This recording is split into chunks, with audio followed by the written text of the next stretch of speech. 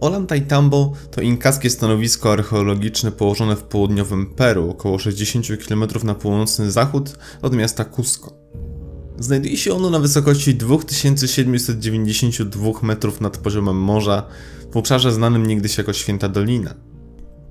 Ten cud architektury służył zarówno jako świątynia, jak i forteca, a zdaniem historyków głównego nurtu został zbudowany w okolicach 1440 roku naszej ery przez cesarza Inków Pachacuteka.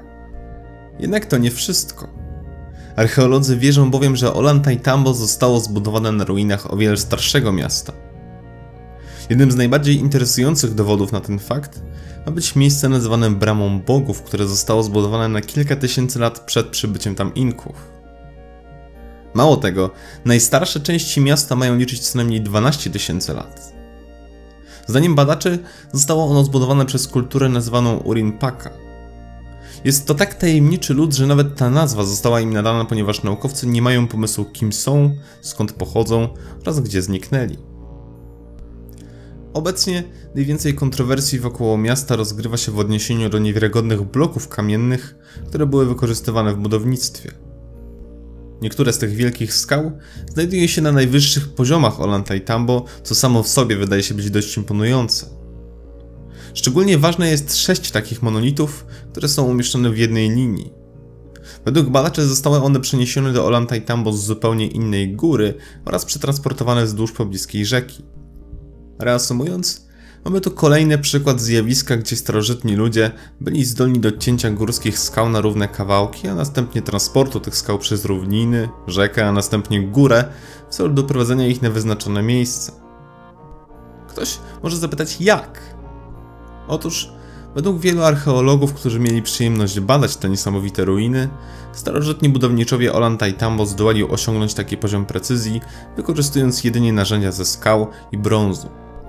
Warto nadmienić, że wyraźnie widać, iż kamienie te mają niemal idealne kąty i w niektórych przypadkach są tak gładkie jak szkło.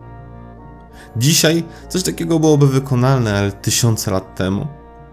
Najzabawniejsze jest to, że mimo iż archeolodzy twierdzą, że narzędzia z brązu i kamienia zostały wykorzystane do kształtowania tych skał, brakuje jakichkolwiek śladów tych narzędzi.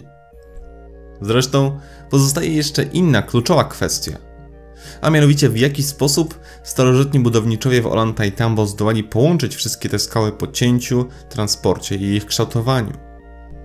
Gdy przyjrzeć się bliżej kamieniom wykorzystanym w Ollantaytambo, wydaje się jakby zostały one wtopione w siebie przez jakieś źródło ciepła, które było w stanie zmiękczyć kamienie, a następnie umożliwiło im dostosować się do swojego miejsca. Oczywiście, tak jak zwykle w przypadku tego typu budowli, przeciętny obserwator może jedynie oddawać się spekulacjom.